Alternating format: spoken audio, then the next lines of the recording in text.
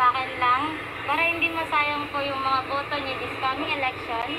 Sana pumili kayo ng wastong presidente or kung ano man yung mga posisyon na na deserving sa kanila para naman at the end there's no regret sa ating sa ating ano sa ating pagboto.